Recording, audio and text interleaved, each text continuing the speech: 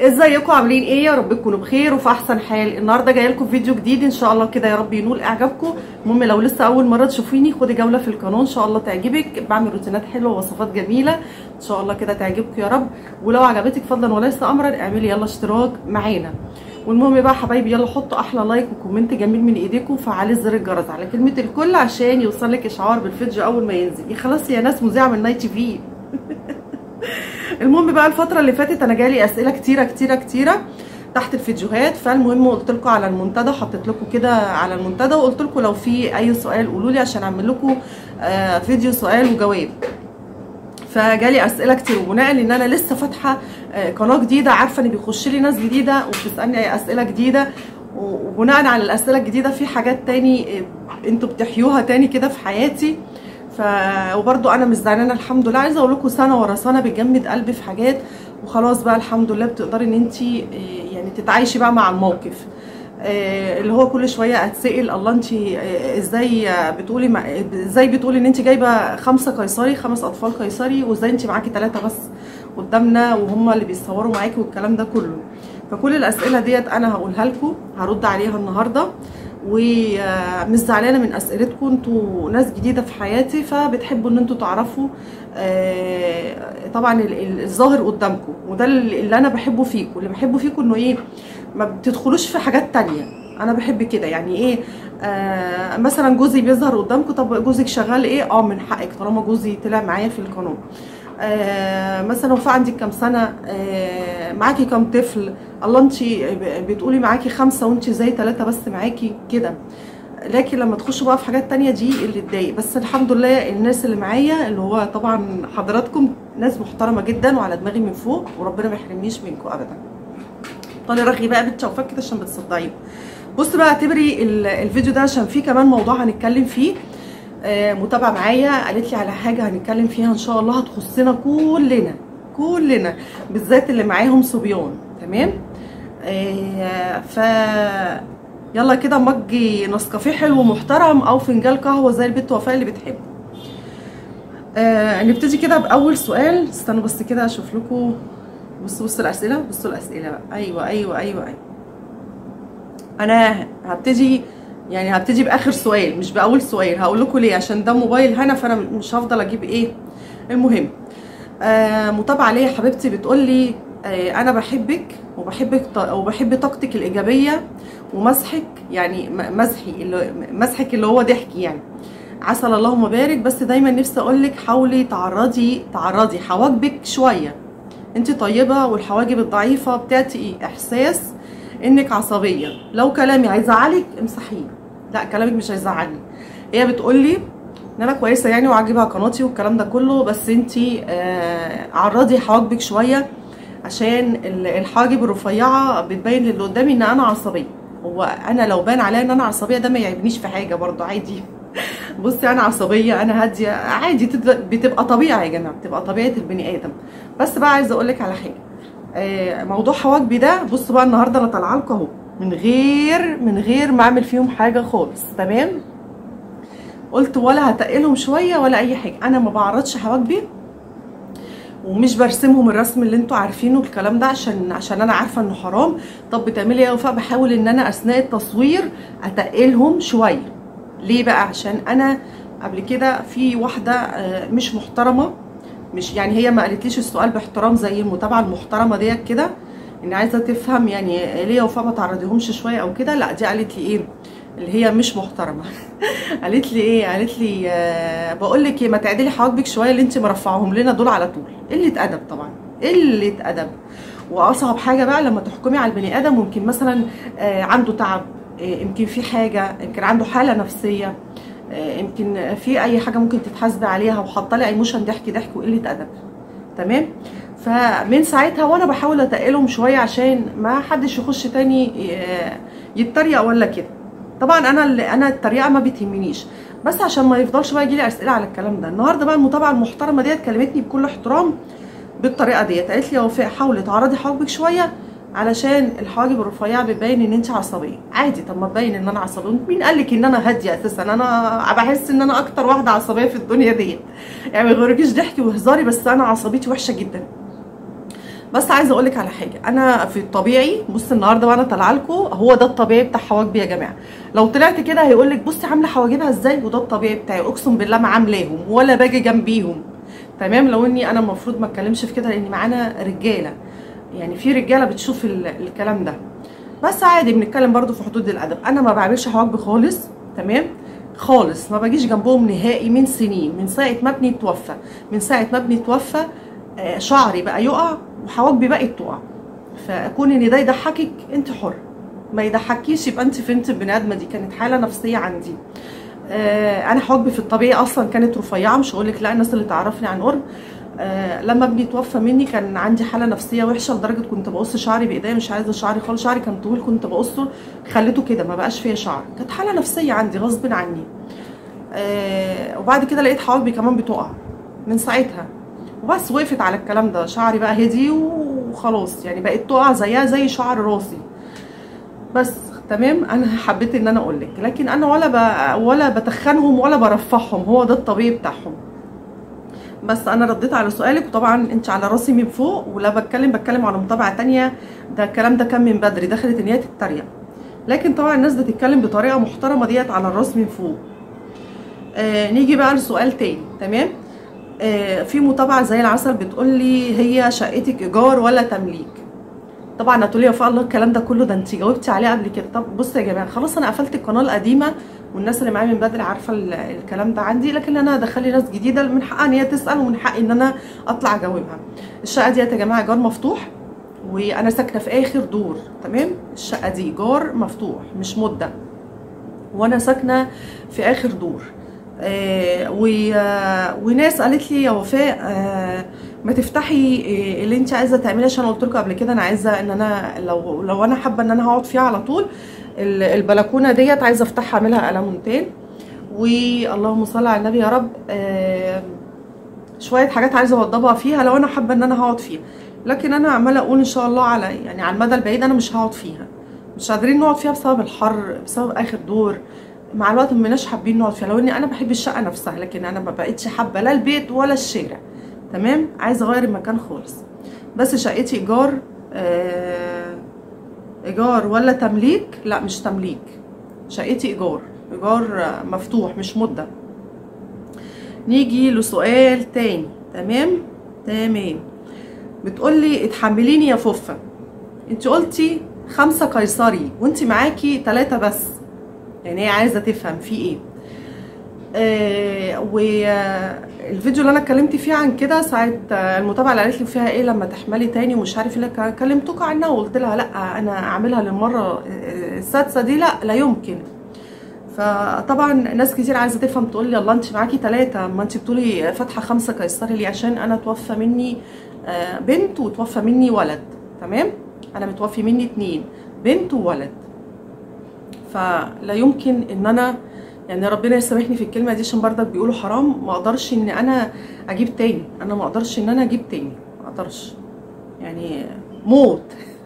خمسة قيصري كده حلو قوي قوي قوي الحمد لله. آه، توفى مني اتنين ومعايا تلاتة أحمدك وأشكرك يا رب. فكده نعمة قوي من عند ربنا. آه، تحت ال comment دوت آه، في متابعة دخلت قالت لها شكلها عيالها اتوفوا منها. آه فعلا عندك حق. لما دخلت قلت لها أيوه فعلا عندك حق لقيتها قالت لي حقك عليا أنا آسفة ولقيتها شالت ال comment بتاعها. لا انت ما عبتيش فيا هو ده اللي حصل فعلا. أيوه أنا عيالي اتوفوا مني. آه، هتخشوا بقى تقولوا لي يا وفاء عيالك كان فيهم إيه عشان يتوفوا؟ أنا بنتي بنتي ما قعدتش 8 أيام وتوفت تمام؟ نزلت ناقصة سبع شهور وأيام فما قعدتش 8 أيام في الحضانة وتوفت لكن اللي قعد معايا فترة سنة وسبع شهور زين. زين قعد معايا سنة وسبع شهور آه وعمليات عمليات لأن كان عنده استسقاء على المخ ف وبرضه ما حصلش نصيب. مهما عملت معاه مفيش فايدة والحمد لله على كل حال. نيجي بقى لسؤال تاني. آه، إزيك يا وفاء؟ إزيك يا وفاء يا جميلة؟ ولادك قد إيه؟ معايا زياد عنده 14 سنة.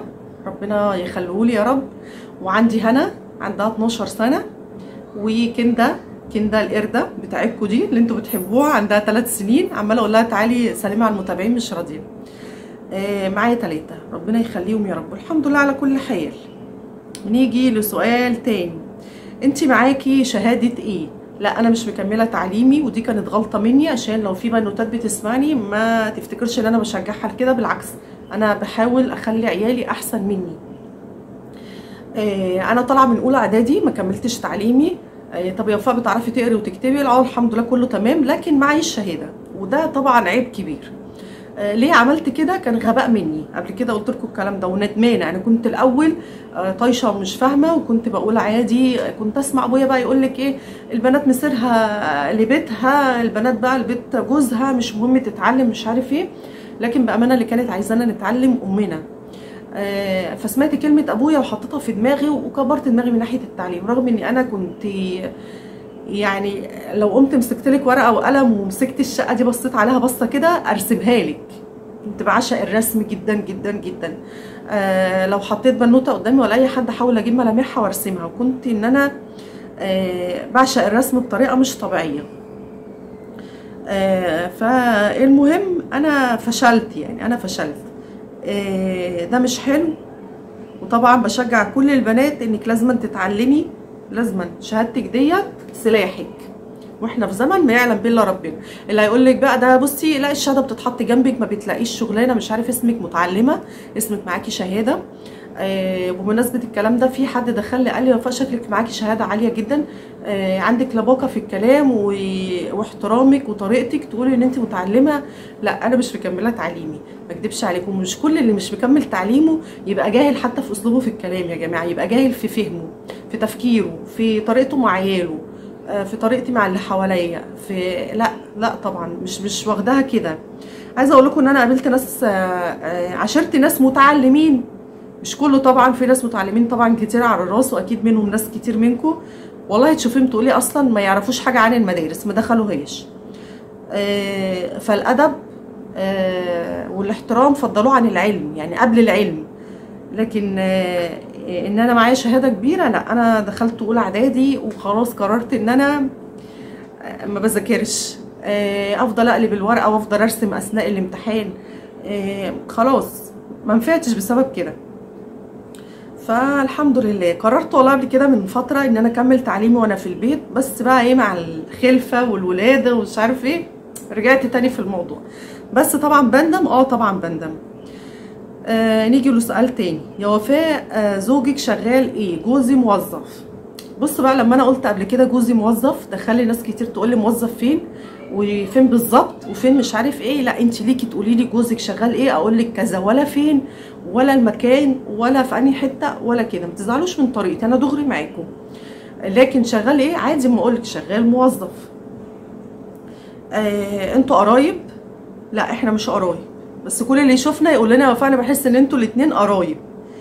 آه ولا وربنا يوفقك. آه بس قالت لي أنت قرايب؟ قلت لها لا أنا مش قرايب مش قرايب إحنا مش قرايب يعني.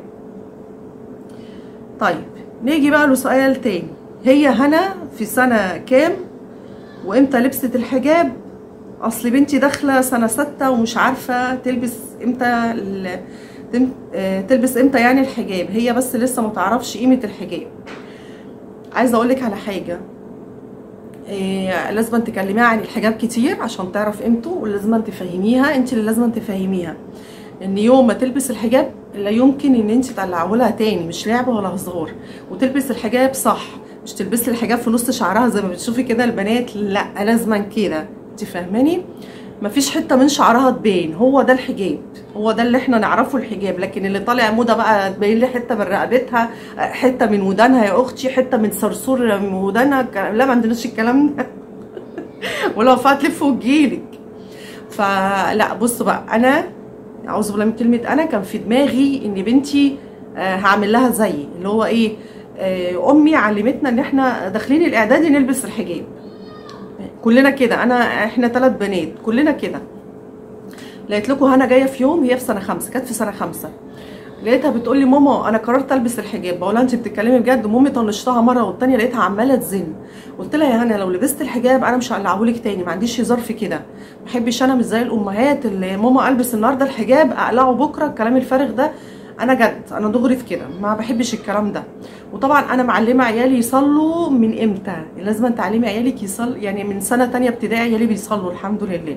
آه كانوا ساعات بيقطعوا مش مش بيقطعوا خالص يعني ساعات مثلا يسيبوا الظهر يصلوا العصر آه، يصلوا العصر يسيبوا المغرب لحد ما التزموا. أنا وباباهم معاهم في الكلام ده.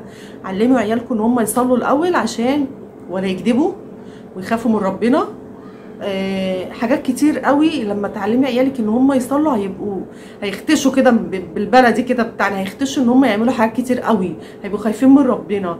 آه، إحنا بنركع لك وبنصلي لك إزاي نعمل كذا إزاي نعمل كذا. كلموهم كتير عن ربنا وعن إزاي إن هم يبقوا صح وما يعملوش أي حاجة غلط. كذب لا مفيش كذب. يعني أنا عيالي لما كان حد فيهم يخاف من حاجة ويكذب أحلف له أقول له طالما حلفت لك بالله يبقى أنا مش هنزل الحلفان ده. عملت كذا يقول لي آه يا ماما عملت كذا. أقول له خلاص أنا مسامحاك. يعني طالما العيل ما كدبش لو حتى عمل إيه سامحيه وفهميه غلطه. لكن لو كذب ليه عقاب كبير. تمام؟ أنا معلمة عيالي كده. والصلاة. الصلاة أهم حاجة في الدنيا إن أنت تعلمي عيالك الصلاة وسلميهم كده لربنا بقى. يعني علميهم الصلاة وسلميهم بقى لربنا هو يحفظهم لك. وعلى طول يقول يا رب احفظهم لي يا رب ربهم لي. كلمكم بجد الصلاة. أقول لكم مش مش أنا يعني آه، شاطرة كده وفي كل حاجة بس على قد ما بعرف بعلم عيالي. طبعا جوزي معايا في الكلام ده. هنا لوحدها قررت تلبس الحجاب وهي في سنة خمسة. تمام؟ ولبسته. والحمد يعني والحمد لله الحمد لله ما فيش الكلام ده إن هي تقلعه وقاعده قاعدة ورا الكاميرا بتضحك عليا. آه ما فيش إن هي تقلعه تاني ولا في دماغها بالعكس ده. آه وسعت كمان من لبسها زيي. أكيد شفتها وهي معايا في الجنينة. هي بقت تلبس بلوزات آه واسعة وطويلة وبقت تعرف إيه الصح وإيه إيه اللي مش حرام وإيه اللي حرام وتعمل ال- الصح وتمشي عليه. آه، وبدأت تعمل زي يعني أنت خليكي المثل الأعلى بتاعهم يعني خليكي آه، البسي الحجاب صح خلي لبسك في منتهى الاحترام. هتلاقي بنتك طالعة بتقلدك. مفيش بنت بتطلع تبص لبره لأ بتبص للي في الشقة الأول اللي هي أمها وتتعلم منها. أنا كلامي بسيط جدا بس بحاول اوصل لكم المعلومة يعني مش أكتر. آه، هنا عندها 12 سنة تمام؟ ولبست الحجاب من سنة خمسة. وتعلميها أول ما تلبس الحجاب شعرها ما يبانش نهائي عشان تتعود على كده. لكن لو علمتيها هتبين آه، قصة والأملة باصة يا أختي تعرف إن هي هتفضل كده على طول. خلاص كده؟ خلاص كده. تعالوا نشوف آه، سؤال تاني. آه، ده بقى مش سؤال.